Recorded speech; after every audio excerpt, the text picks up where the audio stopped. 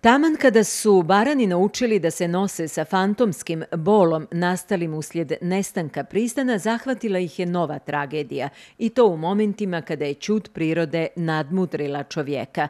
Nadmudrila, ali ne i porazila. U 20 sekundi, dugih kao vječnost, nestalo je 49 ljudskih života, uzrokovana materijalna šteta od preko pola milijarde američkih dolara, dok je trajno ili privremeno uništeno 60 42% objekata. Oštećen je grad, a možda najveće oštećenja pretrpjela su crnička sela, kazao je predsjednik opštine Bar Dušan Rajičević na izložbi upriličenoj povodom 40 godina od katastrofalnog zemljotresa u kojem je najveće žrtve i materijalne gubitke pretrpio upravo Bar. Ali velika tragedija izrodila je i heroje tog vremena – koji su nošeni podrškom sa svih strana i značajnih adresa u Jugoslaviji, pokrenuli program obnove i iz ničega stvorili novu viziju. Heroja je mnogo. Od tadašnjeg rukovodstva opštine i nadležnih institucija, od kojih su i neki večeras sa nama, do onih koji se iz ličnih i iz profesionalnih razloga sa posebnim pijetetom moram prisjetiti već pomenutog predsjednika Skupštine opštine Blaža Orlandića i direktora Direkcije za obnovu bara Čeda Čejović. Ali heroji ste vi, dragi sugrađani, svjedoci tog nemilog događaja, narodi širom tadašnje Jugoslavije, kao i novinari koji su vijest o tragedije koje je zadesila bar pronosili i slikom i riječju. Svi ste zaslužni za činjenicu da je samo u tri mjeseca podignuto 240 stanova, 400 montažnih kuća i sanirano 778 oštećenih stanova.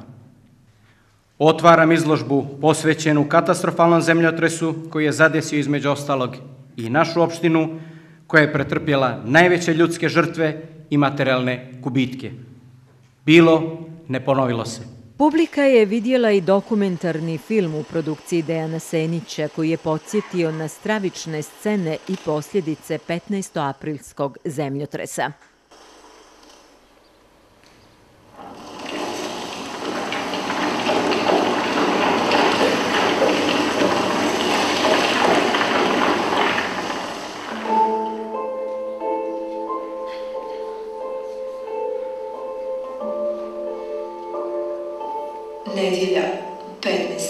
April 1979. godine. 7 sati, 19 minuta i 50 sekundi.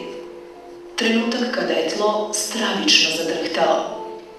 Za tivi čas je gotovo promijenjena mapa Crnogorskog primorja i njegovog zaleđa.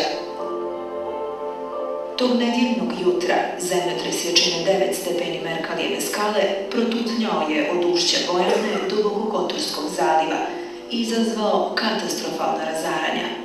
Tribina sjećanja koja opominju bila je svojevrsna reminiscencija na događaje tragičnog 15. aprila 1979. godine i njegove posljedice, ali i sentimentalna šetnja kroz jedno drugo vrijeme, bolje, boljih ljudi i kvalitetnijih međuljudskih odnosa.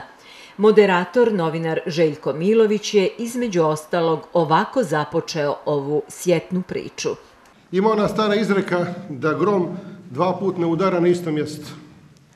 Mora da su se tom izrekom vodili žitelji Sotonića, Mrkojevića, Rapa, starog bara Zubaca, koji su ispred svojih kuća brojili mrtve i povrijeđene 19. maja 1905. godine. Mora da su u tu izreku se pouzdavali i građani Bara i Ulcinja u neđelju 3. novembra 1968. godine u 5.50 izjutra, kada je zemljotres od 8 stepeni Merkalija pogodio ovo područje. Uz ogromnu materijalnu štetu srećom i samo jednu ljudsku žrtvu. I bila je to, međutim, nažalost, samo uvertira za ono što će se dogoditi 15. aprila. Prošle su skoro, ne skoro tačno, četiri decenije od tog sunčanog nedeljnog jutra, kojeg niko od preživjelih nikada neće zaboraviti i čega će se do smrti plašiti. ističući da je mladima danas nemoguće dočarati što su barani doživjeli 15. aprila. Tadašnji potpredsjednik izvršnog odbora Skupštine opštine Bar i komandant štaba civilne zaštite Jusuf Kalamperović kazao je da su u zemljotresu najveći gubitak bili ljudski životi, a u Baru je bilo tačno 49 poginulih, a mrtve su ređali na travi.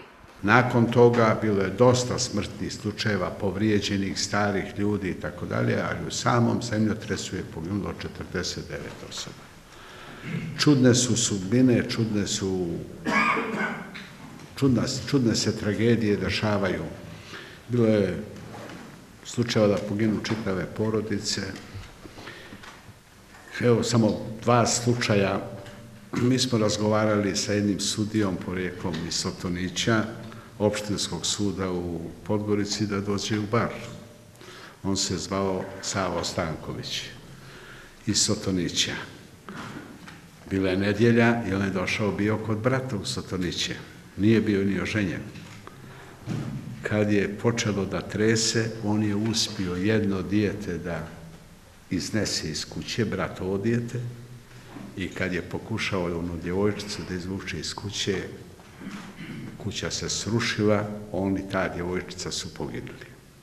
Ondašnji direktor opšte bolnice Bar, dr. Ljubo Živković, rekao je da je dan prije zemljotresa u Bar došla famozna GINA, Generalna inspekcija Narodne armije, da testira kako bi ovaj grad funkcionisao u ratnim uslovima i u fingiranim okolnostima ratnog saniteta. Kolektiv bolnice od Gine je dobio visoku ocjenu, a vrlo brzo je mogao da se dokaže i u realnim okolnostima. Bolnica je bila teško oštećena, a ona upravna zgrada na kapiji bila je u komadima. Javili su nam da je stari dom zdravlja pretrpio neznatna oštećenja. U rekordnom vremenu svi naši radnici, i medicinsko i nemedicinsko osoblje, bili su tu. Nije bilo nikakvog pozivanja. Brzo smo se dogovorili.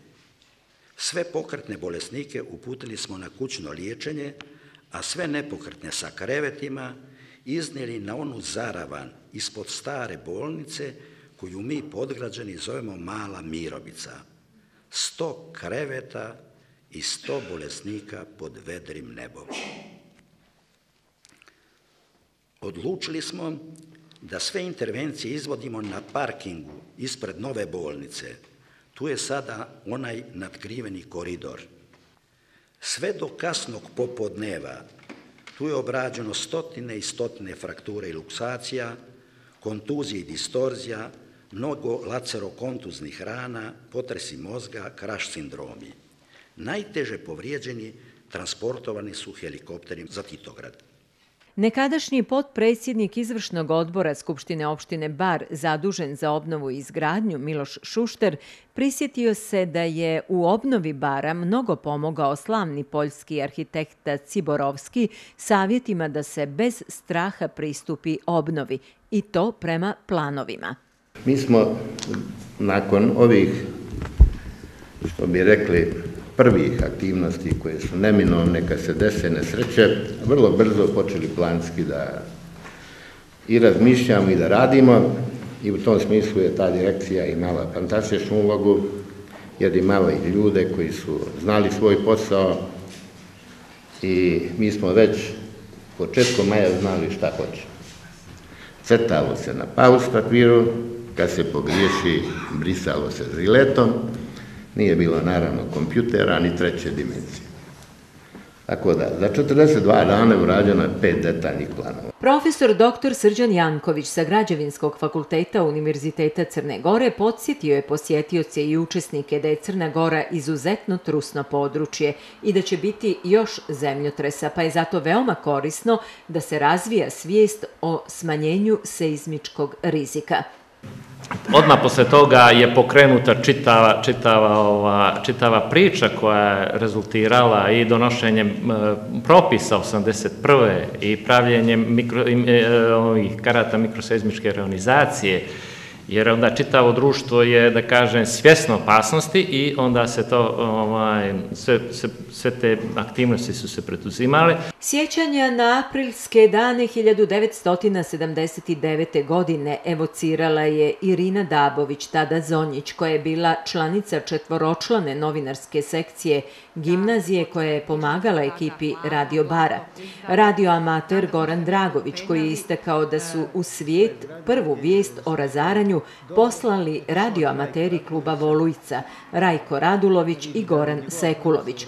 Vojo Banović, tadašnji predsjednik omladine Bara, pričao je o tome kako je formirano omladinsko naselje u osnovnoj školi Meksiko, koje je primilo šest radnih brigada i bilo proglašeno za najbolje na primorju od šest takvih naselja. Igor Gojnić se prisjetio nastupa selekcije Bara na tada veoma popularnim međunarodnim televizijskim igrama bez granica u Kjođi u Italiji. Poslali smo poruku svijetu da je bar živ, kazao je Gojnić. Zemljotres je uništio gotovo 90% domova. Kako bi se što prije otklonile posljedice zemljotresa, naređena je opšta mobilizacija građana od 16 do 60 godina. Značajna činjenica je i to što je dva dana nakon zemljotresa 17. aprila proradio i radio bar, koji je od tada do danas, te je ovo i njegov jubilej, glas građana, njihov prijatelj i podrška.